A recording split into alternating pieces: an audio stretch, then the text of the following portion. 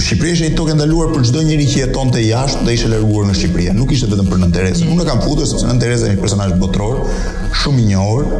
Drama që Nën Tereza ka pasur, drama personale saj nuk është më e madhe dhe as më tronditëse se drama e shumë tjerëve që jetonin jashtë Shqipërisë dhe nuk takuan dot fëmijët, prindrit e tjerë. Ishte një dramë normale, por fakti ajo që më ka bërë përshtypje tek Nën Tereza është Mllefi shumë i madh që regjimi komunist pati ndaj saj në një moment caktuar është një letër që un kam gjetur ku në një raport që që Kadri Hazbiu i bën Enver Hoxhës, më fal ministria e jashtme i bën Enver Hoxhës ku sqaron që ministri Kuv de Mervil, ministri i jashtëm francez i kishte kërkuar në mënyrë konfidenciale ambasadorit tonë në Paris që presidenti në mos gaboj në atë kohë ishte De Gaulle, Charles De Gaulle, kishte kërkuar që vetëm 21 ditë Nëna e Nënë Terezës të transferohej në Romë për t'u vizituar dhe për të takuar të bijën, ai ka një shënim me dorën e tij, në të cilën thotë që po e perifrazoj se nuk po e them ekzaktësisht që kontrolloni kush hyn kush del në shpinën e nënës dhe motrës saj duhet të jetë një agjente shumë e rrezikshme përderisa persona kaq të rëndësishëm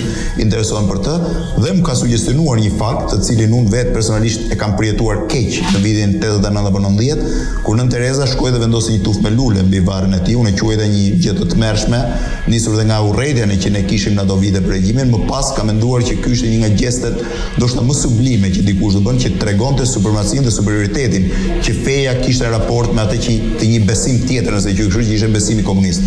Që do të thotë Kjo grua, e cila nuk arriti ta shifte nënën e saj në gjallje, nuk arriti ta shifte motrën e saj në gjallje që iu mohua e drejta për të hyrë, jo vetëm i vendosi një tufë me lule tek motra dhe tek nëna për të thënë që në fund fundit ajo triumfoi dhe arriti këtë ditë, por shkoi edhe atje për të treguar që ishte më superiore ndaj ndaj këtij njeriu. Kur një njeri arrin ta shprehë superioritetin në këtë në këtë formë është impresionuese.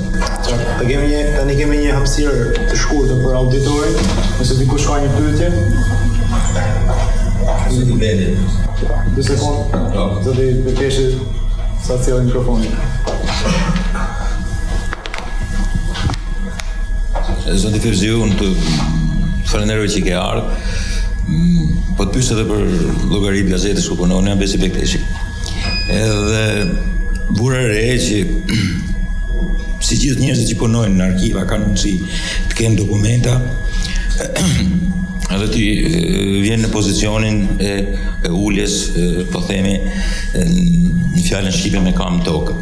Domethënë, mundohesh që të largosh pak fluturimet të cilat janë pjesë e pasioneve të politikës.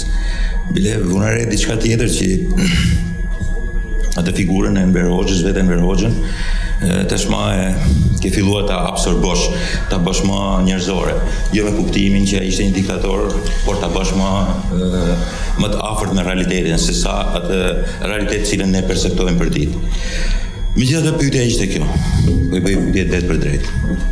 Libri juaj është një nga iniciativat më të mira, edhe unë të falenderoj personalisht. Jam më i madh se ju në moshë dhe ë bile kam pas raste të banoj rreth vetëm 180 metra larg tij për një periudhë kohe. Në distancë në shpinën e tij. Ë një libër i tillë si keni bërë ju është një tentativë e parë, ashtu siç e shkruani ju, shumë e mirë. Ë gjithsesi Unë po i kthehem problemit të parë që ju trajtuat. Ka shumë mundësina për të trajtuar Enver Hoxhën në historiografi. Problemi është se ke libri juaj nuk del në mënyrë të qartë dhe nuk ka si të dalë ajo që është krimi i Enver Hoxhës. Krimi i madh i Enver Hoxhës. Që është Që është krimi më madh që i ka bërë Shqipërisë. Është një vend i cili transformoi rrugën, rrugën e tij normale, ë drejt një diktature e cila ishte personale e Enver Hoxhës. Ë në fakt në librin tënd nuk mund të trajtohet ky krim, nuk del, nuk është është thjesht një e, kalim i lehtë, i butë, i cili në fund të fundit, në fund të fundit është një e re, është një diçka shumë e mirë, por që mungojnë dokumentat për krim. Unë tash pyetjen e kam direkte, ju që keni pas mundësinë të vendosni dorë në dokumenta, me të vërtet ju mungojnë dokumentat e krimit, me të vërtet nuk janë rujt dokumentat e krimit, apo krimi ka qenë kshu i përgjithshëm edhe ky burri për të cilin po flasim ne sot, me të vërtet nuk është kaq fajtor, është gati gati sa ne. Duhet që të ndajmë një gjë, në qoftë se flasim për për dokumentacion mm -hmm. arkivor, e Pra vet arkiva në vetvete është e paeksploruar e gjitha. E qartë. Pra nëse shkon pyet dhe vet arkivën, që do të thotë mm. këto filmimet e Enver Hoxhës, disa dokumenta të Enver Hoxhës, ai që ishte ditari i tij personal, mm. janë gjetur në bodrumin e uh, arkivit qendror të shtetit, ku qëndronin prej 20 vitesh, po janë ishin të paskeduara. Aha sepse janë transferuar nga arkivi i Komitetit Qendror. Aq sa kam marrë unë dijeni jo përmes arkivit, por përmes personave që kanë punuar personalisht në arkivin e Enver Hoxhës, ishin persona të afër që merreshin me shkrimin e veprave apo të tjerë dhe që i falenderoj që dhanë një dëshmi për këtë sepse ka shumë njerëz që kanë vdekë pa i dhënë dëshmitë e tyre. Arkivi i Komitetit Qendror ka pasur një fond të veçantë që ishte fondi personal i Enver Hoxhës. E aksesonte vetëm fal, prekej vetëm me me leje të posaçme të Nexhmije Hoxhës, kishte një pjesë të fondit në të cilin mund të hynte vetëm Ramiz Alia dhe Enver Hoxha.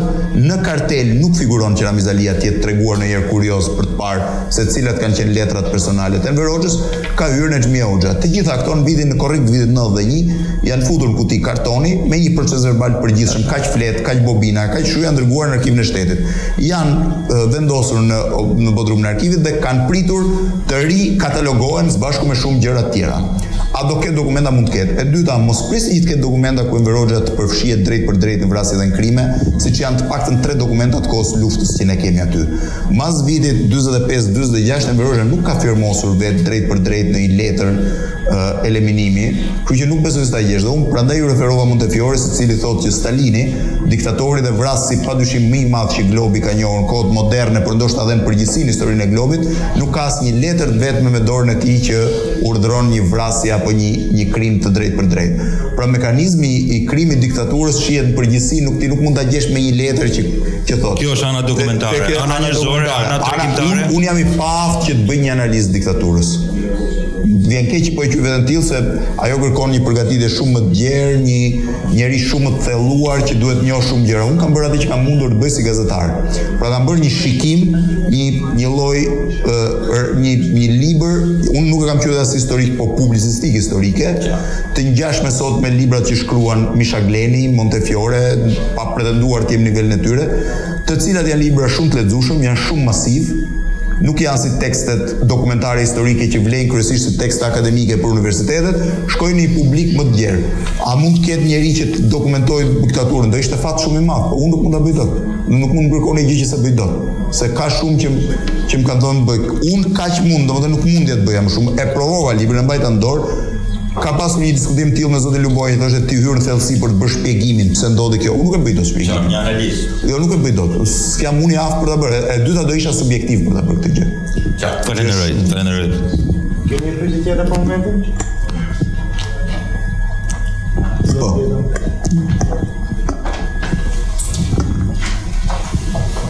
Zoti Fevziu, faleminderit se keni ardhur në emisionin e Tel Rozas për shkollën tonë, të cilin ne E çmojmë shumë punën tuaj, ashtu edhe me programet që keni ban Opinion, dhe na keni opinionu të gjithë dhe me gjitha me gjithë njerëzit e ndryshëm, bile na lidh asht fort me atë emision sa e për këtë që keni bërë për këtë libër, e ndoshta ndoshta për ne ose për mua personalisht, është një një bum i jashtëzakonshëm dhe i bukur fort për të treguar shqiptarëve, qoftë të ri, qoftë të vjetër, se kush ishte dhe çfarë ishte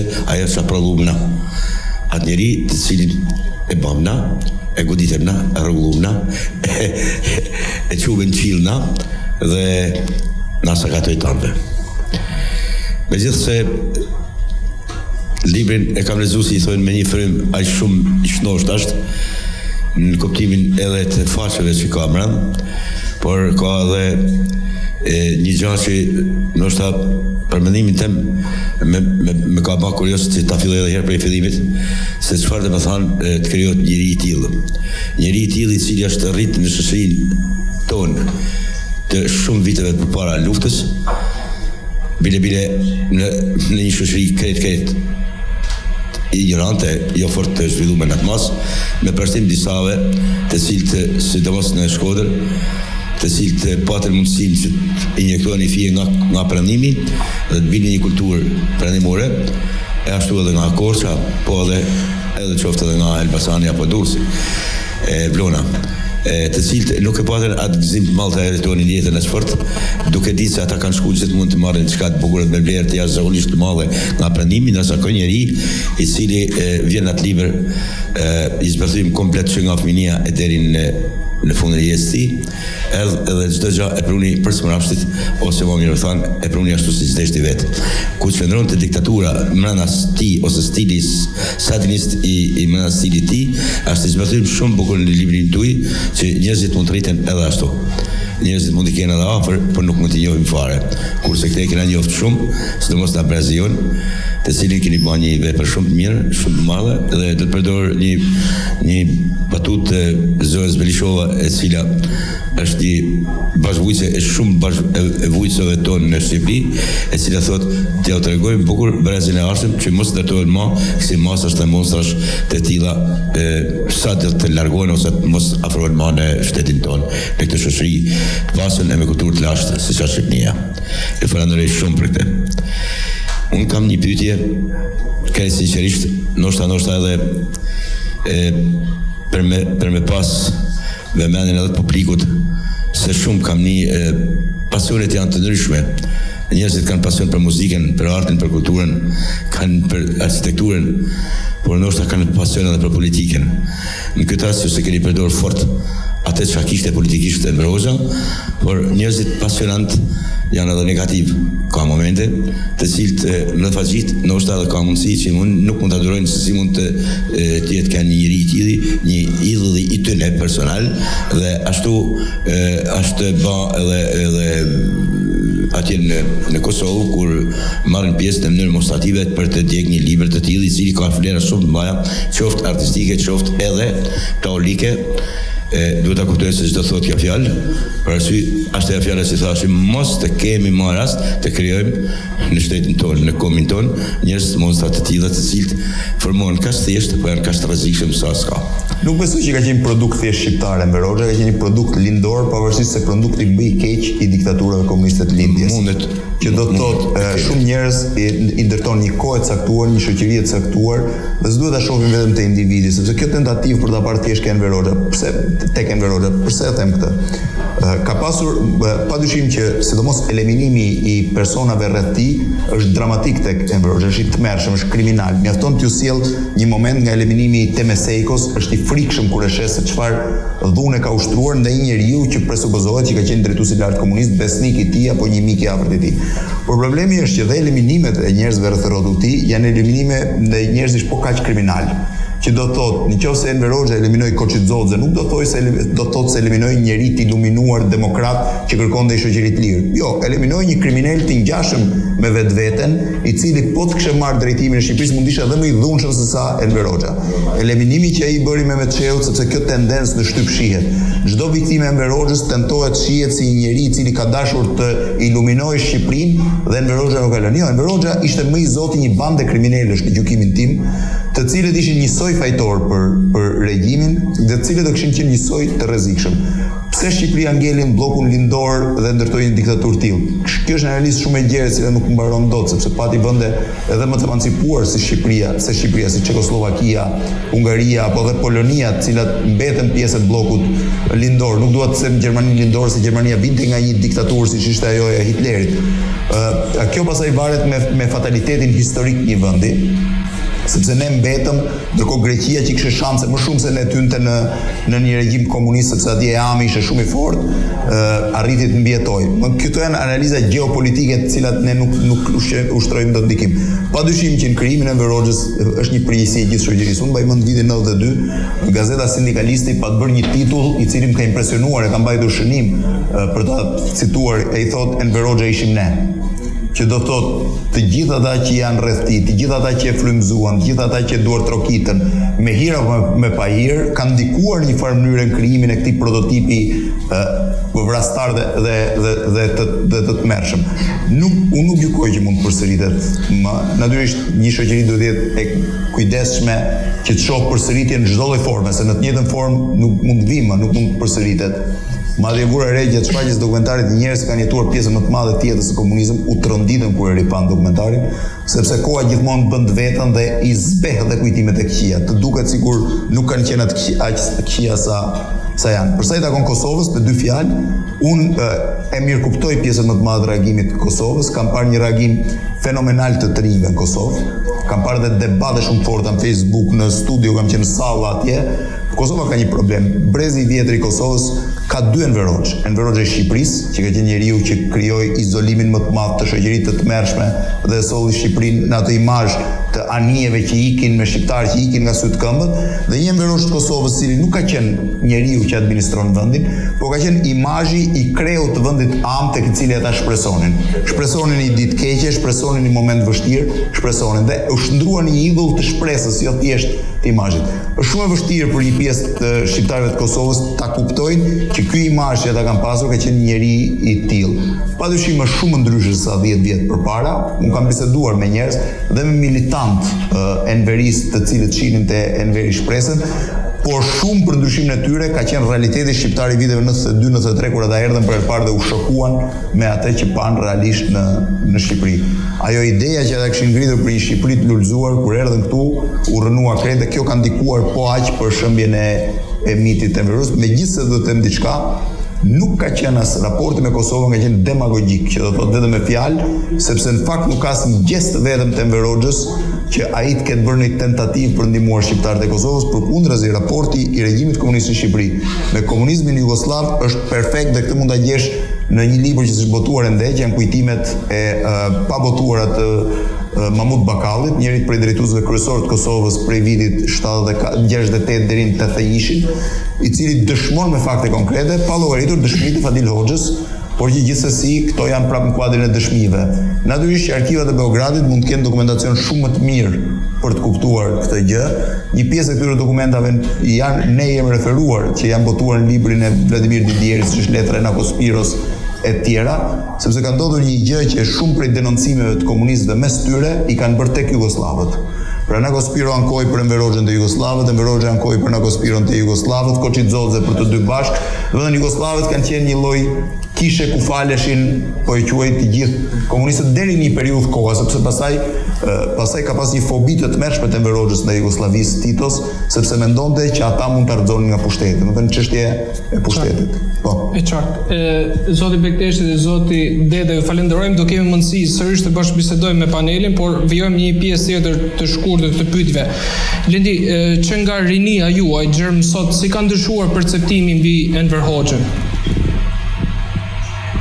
E para ka qenë perceptimi familjar, që do të thotë, unë jam rritur në një familje që nuk e ka dashur komunizmin, nuk ka qenë një familje që ka pësuar goditje të mëdha me përjashtim të shpronësimeve, që po ashtu janë një element i dhimbshëm për një një familje, nuk është se ka pasur drama të mëdha që do të thotë burgime të forta, internime, të paktën në familjen e afërt, flas, se jo në në familjen pak më të gjerë, nuk e kanë dashur komunizmin dhe ka qenë shumë e çuditshme ato me të cilat unë jam rritur stërgjyshja ime dhe motrat e saj kishin një përçmim e ato e kishin njohur dhe personalisht Enver Hoxhën kishin një përçmim që lidhej ndaj gjithë komunizmit ato ishin shkolluar jashtë në Vjenë dhe në Itali në vitet në fund fillim viteve 20 diku në fillim viteve 30 më e vogla kishte një përçmim ndaj Enver Hoxhës vura re që një pjesë e vëzhgimit që ato bënin ishte më i saktë se sa vëzhgimi që bënin prindrit e mi që kishin lindur dhe ishin rritur në kohën e komunizmit dhe kontestonin komunizmin pra ato kishin një qëndrim të qartë. Më vonë e kam kuptuar që ato ishin rritur në shoqëri relativisht të lira dhe arrinin ta kuptonin çfarë ishte një shoqëri e lirë dhe një regjim komunist që një njeri që kishte lindur në vitet e para të komunizmit dhe ishte rritur në komunizëm nuk e bënte këtë diferencim. Kam qenë shumë pasionant në fund viteve 80, fillim viteve 90 kur isha një nga po i quaj protagonistët me më shumë më pak rol në ndryshimin e emrit të universitetit dhe rrëzimin e monumentit të Enver Hoxhës në ato kontestimet e para, isha shumë i pasionuar mbas çdo komenti që vinte për të dhe gati gati dhe i besoja. Më pas kam vënë re që shumë prej memoristikës është memoristikë e dominuar nga pasioni i kohës dhe nga momenti i kohës. Pra është e dominuar nga fakti që Enver Hoxha shihej si një figurë negative apo pozitive, Më pas e kam parë me ftohtësi, në fakt për hir të së vërtetës vitet e fundit e kam parë me ftohtësi, kam tentuar të kuptoj dhe psikologjinë e këtij njeriu, kam folur me shumë prej personave që kanë qenë pranë tij, ishte njeri me trille të çuditshme, siç ka trille çdo diktator, janë të ngjashme, njeri që unë i kam përshkruar që diku ishte shumë i mirë, diku ishte shumë i keq, është pasazhi me Kadarenë tronditës kur Ai e kishte ftuar në shpinë e tij, në fakt e kishte ftuar Nexhmije Hoxha dhe befas troket dera, futet pak koka, thotë mos ju prish bisedën. Dhe kur i thonë jo, hajde vjen thotë tani unë do jua prish pak më vjen dhe Kadareja thotë një orë e gjysmë nuk përmendi kurrë as partinë asgjë. Është një bisedë të cilën unë e kam pasur, e kam mësuar rreth vitit 85, ekzaktësisht në ditët që ai kishte vdekur, nga një shoku i tij i klasës, një shok i afërt i tij. një kushëri i largët i imi, i cili u gjend në shpinë time në Tiranë, i ardhur nga Vlora, ekzaktësisht në ditët që po bëheshin omazhe për Enver Hoxhën para se ta varrosnin dhe më tregoi historinë e tij dramatike, ishte një njeri i cili uh, kishte bërë uh, kishte qenë shok klase me Enver Hoxhën në liceun e Korçës, e kishte marrë në shtëpi sepse ky ishte korçar, Enver Hoxha ishte konviktor, më pas Po një njeri edhe i pashëm dhe i zgjuar. Kishte vazhduar studimet në Itali, u diplomua për mjek, u bë një mjek i famshëm, u martua me një familje, vajzën e një kontesh, e një familjeje kontesh italianë. Dhe befas Enver Hoxha e futi në burg. E ëma e tij shkoi te Koçi Xoxe dhe i tha si ma futët djalin në burg se ishin korçarë, i tha e kam me porositë e Enver Hoxhës. Bëri rreth trembëdhjetë vjet burg, mos gaboj tani. Doli nga burgu në vitin gjashtëdhjetë, shkoi në Korçë, të fal në Korçë nuk e pranuan, shkoi në Vlorë, të gjente një vend i thanë fillo puno këtu një herë, po nuk do të të fusim punë. Ra një tërmet në Fier vitin 60 ose 61, shkoi atje të ndihmonte në spital dhe një moment duke punuar në spitalin e Fierit i thonë urgjent përjashta se po vjen Enver Hoxha. Enver Hoxha kishte ardhur për një vizitë në Fier dhe kishte dashur të shifte të plagosurit nga tërmeti. Ky del nga dera e mbrapme, nga dera e kuzhinës, Enver Hoxha hynte nga dera e mbrapme për arsye sigurie. Në korridor, ai e përshkruante me shumë vërtetësi, megjithëse kisha bërë 13 vjet burg, thotë m'u dridhën këmbët, u tmerrova, thashë tani mora fund. Dhe befas ai ndaloi, tha uu doktori. Ku je doktor sa kam kohë pa të parë, t'i thosha që isha në burg, s'ma mbante. E dija tha që e dinte që isha në burg, sepse ia kishte thënë, i kishte shkrujtur letër nëna e të gjitha bashkë, edhe i thashë, po ja këtu. U kthye tha dhe tha, doktori tha, doktori tha, megjithëse ne nuk na do, pra komunizmin, patriot është po aq sa ne, diçka të tillë. Edhe iku tha, pastaj u kthye dhe tha, doktor ti e di adresën time, po ke ndonjë gjë më shkruaj. Dhe doktori thotë, unë thotë, u qetësova, i, gjithë ajo traumë, dhe kur mbërrita në Vlorë mas dy ditësh, më priste sekretari i parë i Vlorës, më dha menjëherë një hyrje ku të banoja, dhe që nga ajo ditë thoshin për këtë ka thënë shoku Enver që është patriot, mos e prekni. Domethënë, trillet e një njeriu që i kishte shkatërruar jetën duke futur 13 vjet në burg, e ndau nga e bija dhe e shoqja, se shoqja iku në Itali duke marrë fëmijën njëvjeçare që ai nuk e pa më kurrë në jetën e tij, Dhe nga ana tjetër, prap me një fjalë, pra këto janë trillet e një diktatori që ti nuk arrin dot ta ta kuptosh. Unë kam pas përshtypjen që ai njeri ishte i pamëshirshëm aty ku dukej sikur i kërcënohej pushteti i tij, gati gati kriminal dhe bënte altruist, sidomos tek ata njerëz që mendonte që i kishte shkelur më ndërkohë, pra i kishte depersonalizuar në një në një lloj kuptimi dhe befas ndaj tyre sillej gentleman i gatshëm. Dhe është një pjesë tjetër, të cilën unë kam bërë një kombinim Që është i tmerrshëm është sjellja e tij ndaj Sejfi Vllamasit, një prej gjesteve ndoshta më interesante të viteve të komunizmit, një njeri ish ministër, ish deputet në vitet e mbret, para mbretërisë, pra në vitet e demokracisë shqiptare të viteve 20-24, një kundërshtar i Zogut që pas bashkëpunoi me italianët, u fut në burg, bëri shumë vite burg, doli nga burgu, punonte roje derrash, në Gosë të Kavajës, ai shkrujti kujtimet e tij ashtu siç ishin realisht, dhe i çoi në Institutin e Historisë një ditë, mori një ditë leje nga internimi, shkoi dhe tha, këto janë kujtimet e mia, unë i kam shkrujt siç i kam jetu. Ju mbajni se do ju duhen për historinë e këtij vendi. Ramiz Alia, i, unë gjeta letrën, ku Ramiz Alia i njoftonte që i bënte këtë dhe Enveri thoshte në ditarin e tij, Më tha Ramizi që ka ka shkruajtur Sejfi Vllamasi kujtimet i thashë të m'i sjellë një herë t'i hedh një sy. Dhe befas aty Sejfi Vllamasi fliste me superlativa për Zogun. Pra thoshte megjithëse un kam qenë kundërshtari i tij ndejta 14 vjet i mërguar emigrant politik për Zogun, un sot e vlerësoj kështu. Nuk e harroj këtë, shkoj në Gosë të Kavajës eksaktësisht 6 muaj mbas kësaj letre. Dhe në librin e tij shkruan që m'erdhi Sejfi Vllamasi më tha ç'do bëhet me pensionin tim i thashë turp të kesh do dhe pension ti ishte një plak i rrudhur i keq i shëmtuar domethënë edhe fizikisht e kishte portretizuar kështu që nuk ja kishte falur dot deri që nuk e kishte nënshtruar deri në atë pikë sa ishte personazh me trille të çuditshme gjatë hulumtimit të figurës së Enver Hoxhës zoti Fevziu a keni vënë re nga çfarë kishte frikë zoti Enver Hoxha jo nuk e kam marrë nuk e kam hasur këtë për t'ju thënë të drejtën ishte paranojak ndaj të huajve, shumë paranojak, kishte shumë frikë, kishte e tmerronin aq sa kam parë unë për vetimet e brendshme. Ishte një njeri që donte t'i kontrollonte të gjithë, këtu po i referohem Spartak Ngjelës se nuk mund ta them vetë. Ishte një njeri që gati gati po mos t'i shihte drejtuesit komunistë në atë shpinë e partisë masdite, mendonte që ata ishin diku duke komplotuar. Dhe një nga akuzat që i bëri Tuk Jakovës dhe Bedri Spahiut ishte fakti që i tha Për dy muaj rresht s'keni ardhur në shpinë e partisë, çfarë bënit ju të dy kur s'ishit këtu? Më kishte qejf po unë nuk e di, nuk e kam hasur ndonjë gjë specifike. Na duhen përgjigje të shkurtra në vazhdim zoti Fevziu në raport me kohën. Në gjykimin tuaj, zoti Enver Hoxha eliminonte bashkëpunëtorët e tij sepse kishte frikë se do i merrnin pushtetin dhe ja rrezikonin atë, apo kishte ndonjë arsye tjetër? Jo, regjimet komuniste në përgjithësi funksiononin mbi këtë bazë. Bëj një shembull, ndëshko për të fuqizuar atë që mund të quhej uniteti dhe besimi tek ty. Kristo Frashëri e ka thënë në një intervistë tek mi ai ndoqi një këshillë të Miladin Popoviçit që ishte një militant dhe ideologjikisht i përgatitur komunist, partia forcohet duke u spastruar dhe kur s'ke armiq, shpik armiq.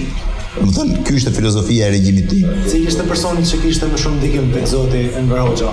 Unë nuk gjej ndonjë person që të ketë pasur ndikim tek Enver Hoxha, kam përshtypjen që ai mund të ndikohej nga njerëz që ishin rreth rrotull tij, por ishte shumë autonom në marrjen e vendimeve. Mbas vitit 74, mbas infarktit që ai pësoi, ka një lloj ndikimi ose shfaqet nëpër letra, se unë këtë s'mund ta di, shfaqet uh, Nexhmije Hoxha.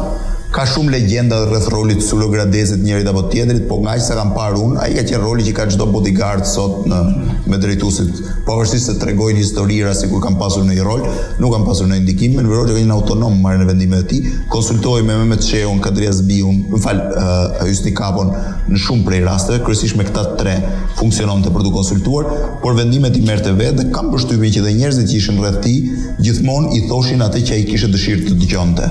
Jo diçka që mund ta mund ta sillte. Ky është dhe modeli i diktatorit që zakonisht i thonë atë që ai do të dëgjojë dhe ai pret që t'i thuash atë që ai ka në mend dhe pastaj natyrisht duket sikur vërteton ose përforcon të drejtën që ka pasur ai. Në rrëfimet e zotit